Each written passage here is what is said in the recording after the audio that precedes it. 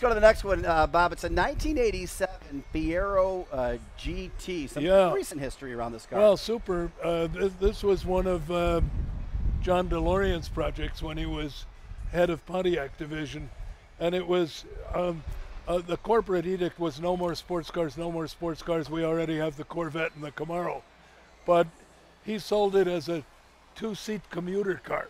This this company needs a two-seat commuter, so uh, Uh, the this is one of the later ones with the soft back end and the soft front end and aesthetically much more pleasing than the early Fieros.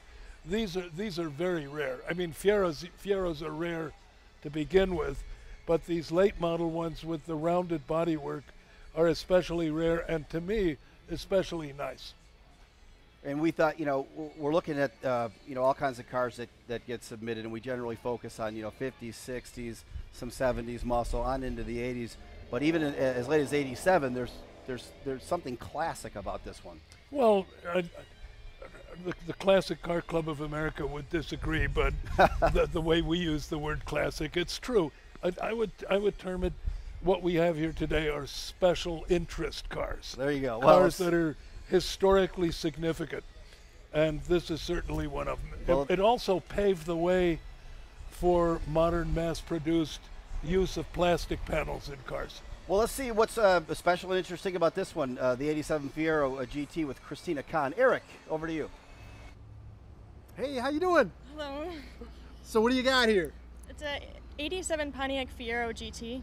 87 Fiero GT. Yes. Now, when I was a kid, these things were all over the place. You saw Fieros constantly, Yeah. but you don't see a ton of them on the yeah, road there's, anymore. there's not very many anymore at all. yeah, this is your car. Yes, it's my car. It's my first car. I just turned 16 last month. Congratulations. Thank you. Very cool first car. For sure. It's a lot of fun to drive. I bet. So is this what you wanted?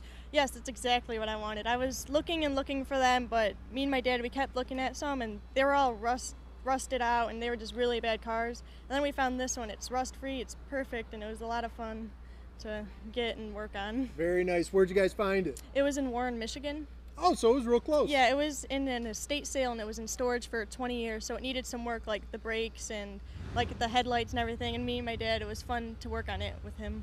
That's fantastic. That's super cool that you guys are Mm, working for on it together. Absolutely. It's nice when a dad gets to, you know, work with a 16-year-old daughter on cars. I mean, how many times you get to hear that Yeah, nowadays, so.